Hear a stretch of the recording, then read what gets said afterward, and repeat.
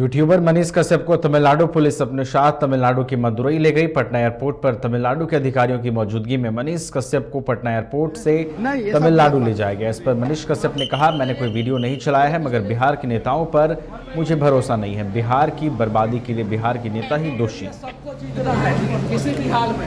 तब हमारा बिहार बदलेगा वरना दूसरे राज्यों में हम जाके धक्के खाते हमारे बिहार के नेता दोषी या बिहार के बर्बादी के क्या आपको फंसाया जा रहा है पॉलिटिकली आपने आरोप लगाया है? कानून पे मुझे भरोसा है।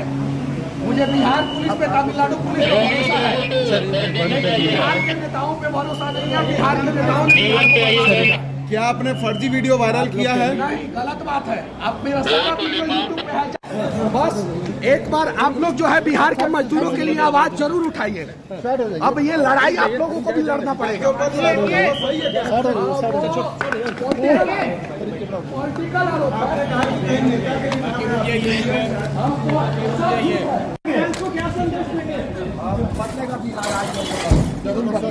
मनीष जी। बिहार आज नहीं तो कल बदलेगा ज़रूर। इतना भरोसा है। हाँ। ज़रूर बदलेगा। और तमिलनाडु पुलिस मेरे साथ कहीं कुछ व्यवहार नहीं कर रहा है।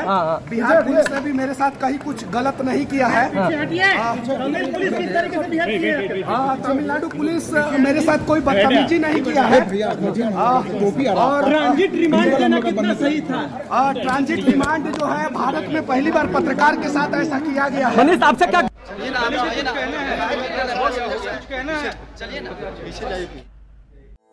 चार धामों में से एक रामेश्वर धाम सहित तिरुपति बालाजी कन्याकुमारी मदुरई माँ मीनाक्षी देवी और श्री मल्लिकार्जुन ज्योतिर्लिंग का झारखंड में सबसे कम दर पर सब परिवार दर्शन लाभ का अनुपम अवसर।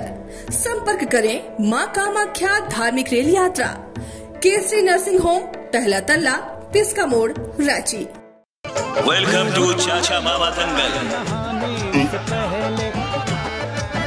हास्य अदाकार संजय मिश्रा से गुजारिश है कि वह अखाड़े में कूदे और फुलटूस को ट्रॉफी से नवाजे। लगता है समाधि ले ली।